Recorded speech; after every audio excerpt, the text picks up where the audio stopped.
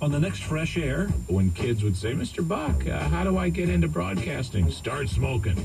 Joe Buck didn't follow this advice his dad, Hall of Fame announcer Jack Buck, gave to other kids, but Joe did go on to become an Emmy Award winning sportscaster himself. He has a new memoir. We'll talk about his good luck, his childhood, and why he thinks some fans can't stand him. Join us. Listen to Fresh Air at 7 o'clock tonight. It's on right after Marketplace on 90.1 WABE. I'm Amy Kiley with this look at the roadways. I-85 on the north side, northbound near Jimmy Carter Boulevard has a disabled vehicle. It's blocking the right lane. Traffic is getting through there at about 13 miles an hour, so it doesn't seem to be slowing down things too much. Georgia 400 northbound near the perimeter is going quite slowly, but not with an accident. 8 miles an hour in that spot. Again, that one is Georgia 400 northbound, right at the perimeter. No accident, just slow going.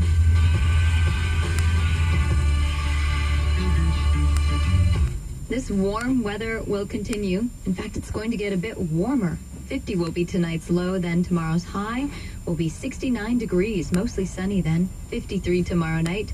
On Friday, we could see a temperature of about 71, maybe even 72 degrees. This is 90.1 WABE. It's 550. From NPR News, this is All Things Considered. I'm Audie Cornish in And- Washington. And I'm Kelly McEvers in Culver City, California. President elect Donald Trump's pick for Secretary of State spent all day on Capitol Hill.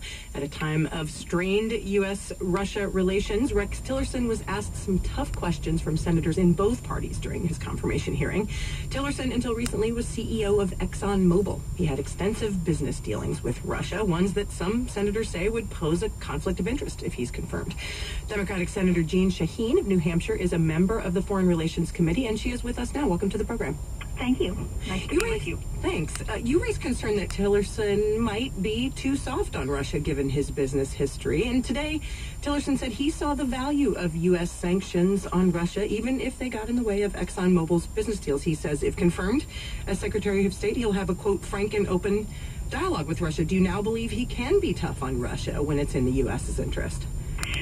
Well, I was a little concerned about his evasiveness on um, whether to pursue additional sanctions on Russia um, for their attacks in our election process. Uh, yesterday, I, along with uh, a number of other my colleagues, including Senator McCain and Senator Cardin, introduced additional sanctions legislation on Russia for their interference in our elections, and and he really um, he really was hesitant on that. So I, I think we we still.